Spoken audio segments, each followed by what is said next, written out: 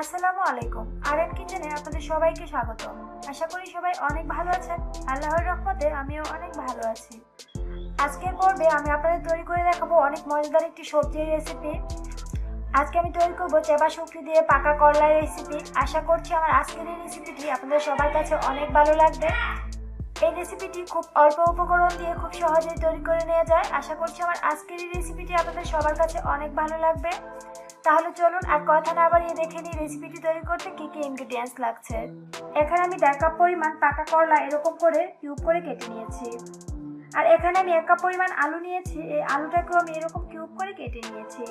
আর নিয়েছি half cup পরিমাণ পেঁয়াজ কুচি ওয়ান থার্ড কাপ পরিমাণ রসুন কুচি, এক টেবিল চামচ পরিমাণ কাঁচামরিচ কুচি, দুটি নিয়েছি চেপা শুটকি। এই শুটকিটাকে অনেকে পুটি শুটকিও বলে, আবার অনেকে চেপা শুটকি বলে।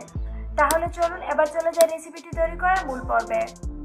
এ পর্যায়ে চুলায় পর্যাপ্ত পরিমাণে পানি দিয়ে আমি একটি হাঁড়ি বসিয়ে নিয়েছি। এবার আমি এর মধ্যে দিয়ে দিচ্ছি কেটে নেওয়া আলু। দিয়ে দিচ্ছি হাফ চামচ পরিমাণ লবণ। এবার একটি ঢাকা দিয়ে রেখে দিচ্ছি আর পাঁচ মিনিটের মতো সিদ্ধ করে নেব। ফিরে আসছে ঠিক পাঁচ মিনিট পর। পাঁচ মিনিট পর আমি ঢাকনাটাকে উঠিয়ে নিচ্ছি। আমার আলুটা কিন্তু হাফ সিদ্ধ হয়ে গিয়েছে। এ পর্যায়ে এর মধ্যে দিয়ে দিচ্ছি আমি কেটে রাখা করলাগুলো। আবারও আমি ঢাকনা দিয়ে ঢেকে দিচ্ছি আলু এবং করলাগুলো খুব ভালোভাবে সিদ্ধ হওয়া পর্যন্ত। দশ মিনিট পর আমি ঢাকনাটাকে উঠিয়ে নিচ্ছি। করলা এবং আলুগুলো কিন্তু সিদ্ধ হয়ে গিয়েছে। আর এটা সিদ্ধ করতে আমার দশ থেকে বারো মিনিটের মতো সময় লেগেছে। এবার এখানে আমি একটি স্ট্যান্ডার নিয়েছি, আর করলাগুলোকে স্ট্যান্ডারের মধ্যে খুব ভালোভাবে ছেঁকে নেব। এভাবে স্ট্যান্ডার দিয়ে ছেঁকে খুব ভালোভাবে পানিটাকে জড়িয়ে নিতে হবে। এর পর্যায়ে চুলে আমি একটি কড়াই বসিয়ে নিয়েছি, এবার আমি এর মধ্যে দিয়ে দিচ্ছি ওয়ান থার্ড কাপ পরিমাণ সয়াবিন তেল। তেলটা গরম হয়ে গিয়েছে, এবার আমি এর মধ্যে দিয়ে দিচ্ছি পেঁয়াজ কুচি।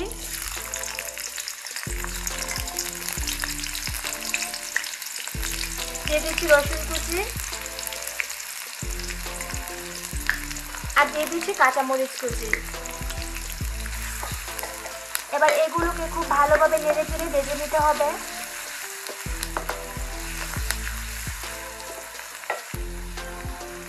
পেঁয়াজ রসুনটা ভেজে নেওয়ার পর এর মধ্যে অল্প একটু পানি দিয়ে দিচ্ছি।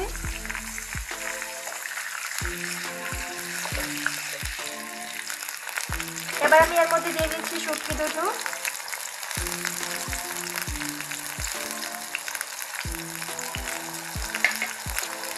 আর দিয়ে দিয়েছি হাফ চামচ পরিমাণ লবণ। হাফ চামচ পরিমাণ হলুদের গুঁড়া। আর দিয়ে দিয়েছি এক চা চামচ পরিমাণ লাল মরিচের গুঁড়া। এবার খুব ভালোভাবে নেড়ে চেড়ে কষিয়ে নিতে হবে।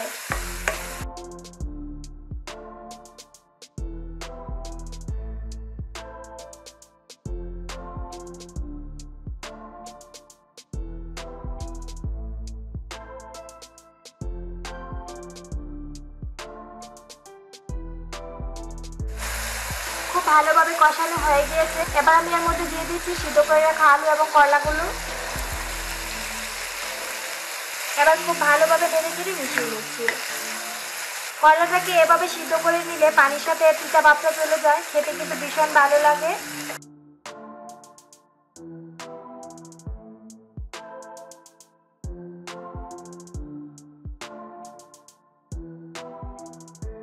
এভাবে নেড়ে চেড়ে খুব ভালোভাবে মিশিয়ে নেওয়ার পর চুলাটাকে মিডিয়াম ফ্লেমে রেখে ঢাকনা দিয়ে ঢেকে রান্না করে নিতে হবে কিছুক্ষণ। পাঁচ, সাত মিনিট পর আমি ঢাকনাটাকে উঠিয়ে নিয়েছি। লক্ষ্য করুন, অনেকটাই ভাজা ভাজা হয়ে গিয়েছে, একদম আঠালো হয়ে গিয়েছে। এটাকে এভাবে অনবরত নাড়তে থাকতে হবে, তা না হলে কিন্তু নিচের সাইডে লেগে যাবে। এভাবে অনবরত নাড়তে নাড়তে যখন ভাজা ভাজা হয়ে যাবে, তখন এটাকে উঠিয়ে দিতে হবে। পাকা করলার এই রেসিপিটা খেতে কিন্তু ভীষণ মজা লাগে। আপনার বাসায় একবার হলেও ট্রাই করে দেখবেন সেটা কেমন লাগে। আর ট্রাই করে কেমন হয় তা অবশ্যই আমাকে কমেন্ট বক্সে কমেন্ট করে জানাবেন।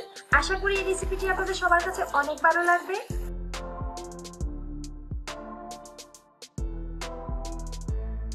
আমার কয়লা বাজিটা কিন্তু হয়ে গিয়েছে, দেখুন একদম শুকনো শুকনো হয়ে গিয়েছে। এরকম ভাজা ভাজা করে নিতে হবে। আপনারা চাইলে এর থেকে বেশিও ভাজা ভাজা করতে পারেন, আবার এর থেকে কমও করতে পারেন, যে যেরকম খেতে পছন্দ করেন। আমার কাছে এরকমই ভালো লাগে। এবার আমি এটাকে নামিয়ে পরিবেশন করে নেব। তৈরি করা হয়ে গিয়েছে আমার অনেক মজার পাকা করলা ভাজির রেসিপিটা। এই রেসিপিটা কিন্তু খেতে ভীষণ মজা লাগে আর এটা তৈরি করাও খুবই সহজ। করলা ভাজিটা এভাবে তৈরি করলে আশা করি আপনার পরিবারেরও সবাই খুবই পছন্দ করবে আর খেতে কিন্তু ভীষণ ভালো লাগে। বিশ্বাস না হলে আপনারা একবার হলেও এটি বাসায় ট্রাই করে দেখতে পারেন। আশা করছি সবার কাছে খুবই ভালো লাগবে। রেসিপিটি ভালো লাগলে অবশ্যই একটা লাইক দিবেন। আর এরকম আরও সহজ সুন্দর মজাদার রেসিপি পেতে যারা এখনও পর্যন্ত আমার চ্যানেলটিকে সাবস্ক্রাইব করেননি, তারা প্লিজ আমার চ্যানেলটিকে সাবস্ক্রাইব করবেন।